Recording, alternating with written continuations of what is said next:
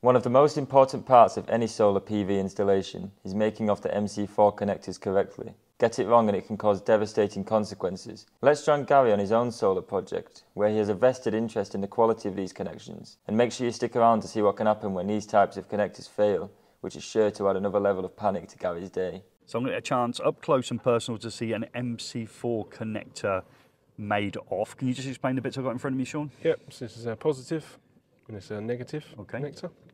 Right, and then we just use the required tools in order to make those two connections. Yep. And you've got a little bit of cable. We're not doing it on the roof because obviously I'm going to have to balance up there with a harness and the camera. So our glamorous assistant over here is going to hold some of our stuff as well. So first thing, Uh, strippers, Okay. these dedicated solar strippers. well, there must be a required length for that. Is that just because you've made so many of them off, you just grab that length straight away? Yeah, just, Okay, just so know. yeah, so there's a, a certain length for that, and then we're going to do which one you do first for me? Uh, we'll do the positive. Okay, positive one. So the easiest way of doing these, Yeah. because they're quite fiddly, um, also potentially sometimes these that might actually be live as well. I've got a feeling this bit. And, okay. So obviously we, we're used to crimping tools. What sizes do they do?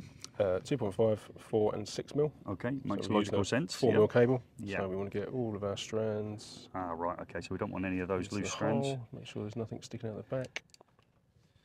And then we go with a crimp. Cool, that's a significant crimp as well, isn't it? It is. Okay, so there we go. So we've made that crimp off. Now, I'm thinking here in the real world, obviously we're missing the rest of it. So would we be sliding it from the opposite end, which would be really No. tricky in the real world? So we can undo this. Okay. Loosens off. Oh, that is. Not. I bet that's got many a person out of a, a pickle. Slips over. Okay, And then wait for the click. so let's wait for it. Or oh, it'd be your wrist or Oh, fingers. Yeah.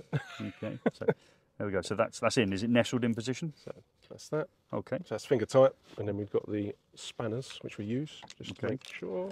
Make those off. Swapping these. IP rated. Yep. Okay, even though it's sitting underneath the actual solar panels, it's still going to have a chance of getting wet. So these are specially designed, aren't they? Yeah, so one's on the back, so you've got grooves which sit on the back of the Okay, yeah. and then go into the middle, and just give it a little twist, and wait for the click.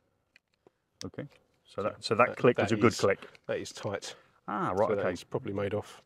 So we've got that one done. so one. yeah, I take it similar process for the other end, but let's make the other one end off because there's something quite unique about them. Obviously, when they go together as well, isn't it? Uh, Yeah. When we're thinking about connecting two things together. So again, you know the length, which is great. So Four mil string could have been six. We're using six on the installation we're here at.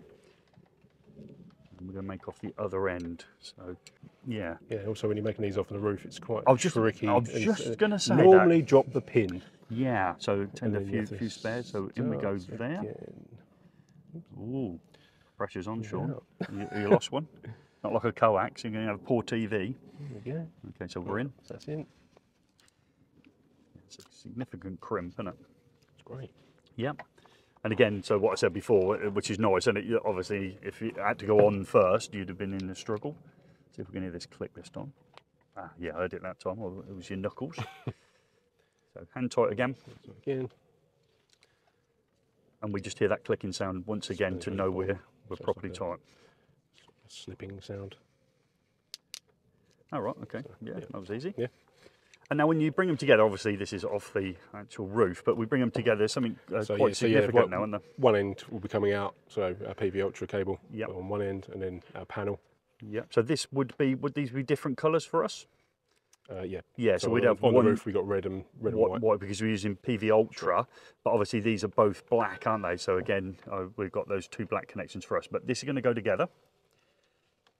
I heard a click again. You'll click. Okay. So how would I actually get that undone? So there's a specialist tool which separates these pins. Then you put it apart.